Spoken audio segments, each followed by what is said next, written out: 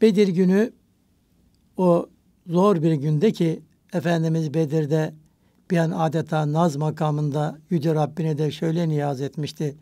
Allah'ım eğer şu tevhid ehli de bugün helak olacak olursa artık yeryüzünde sana ibadet eden bir kullar veya bir zümre bulunmayabilir. Böyle nazlanmıştı Efendimiz Aleyhisselatü Vesselam.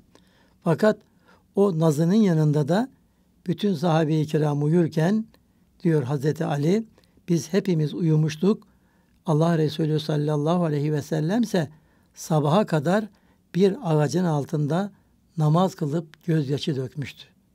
Çünkü Yüce Rabbimiz ya eyyühellezine amenu sta'inu bis sabri ve salah buyuruyor. Ey müminler! Eğer Rabbinizden bir yardım talep ediyorsanız, yardım istiyorsanız iki şey gerekiyor size. Bir sabır, ayaklarınız sabit kadem olsun. Acılara dayanın, imtihanlara dayanın. İkincisi de namaz. Namaz ve sabırla Rabbinizden yardım isteyin. Onun için de bunun en güzel misalini Efendimiz veriyor.